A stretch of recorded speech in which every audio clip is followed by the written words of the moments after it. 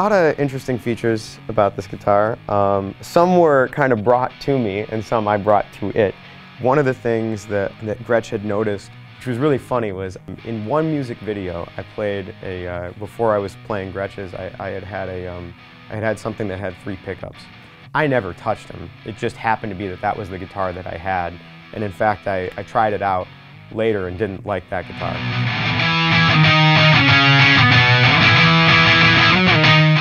But they liked the idea so much, they were like, well, we have a three pickup idea. And I was like kind of skeptical. But pretty immediately, I, I found so many benefits to having it. Um, specifically, there's one of the things that uh, Pete and I would always get in arguments about would be um, on records, I would have parts sometimes where I'd be like, I think this should be an acoustic part, you know, or something like that. And he'd be like, why bother? Because we're never going to play it live. But I noticed that if I switch everything to all of them blaring at once and I, and I put it in the middle, it, you know, depending on my, on my settings, I can emulate a, an acoustic guitar really well, actually. So that kind of changed that argument pretty quick, you know.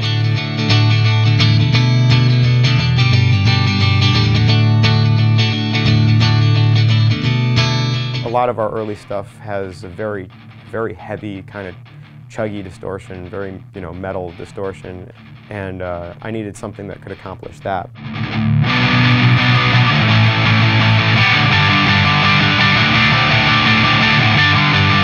They also talked me into uh, strength of the body, which I wouldn't have thought of myself.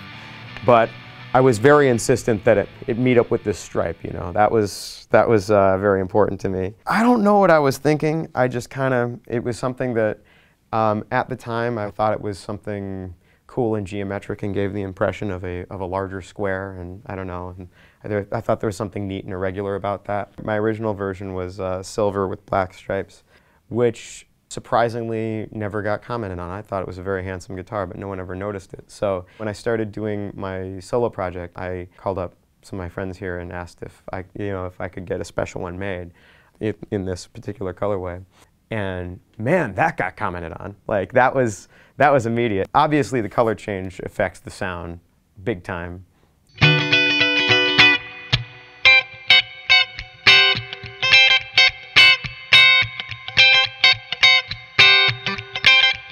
One of my peculiarities, one of the things that I really insisted on was this kill switch, which actually took a long time to, to, to perfect because quite a few songs I'll use the effect of kind of having feedback that rhythmically uh, reacts to having a kill switch or whatever. Or, or you know, at the time I would turn, uh, I think I would turn one pickup all the way down or something like that, and that would be my that would be how I would get that sound. Well, you can't really do that with three pickups without having a zillion knobs. So they gave me a kill switch, which was awesome.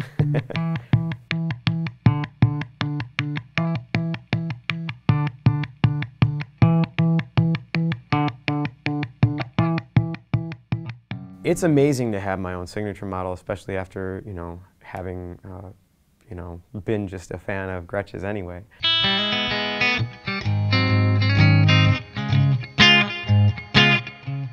I used to have two like flight cases of just giant flight cases full of guitars that I would bring into the studio for every imaginable sound, you know, every conceivable sound that I would have on records. As soon as I had this made, um, I remember the first session that I did after it where I had that crate out, you know, with all these guitars. And I think we even took them out and had them all set up and everything.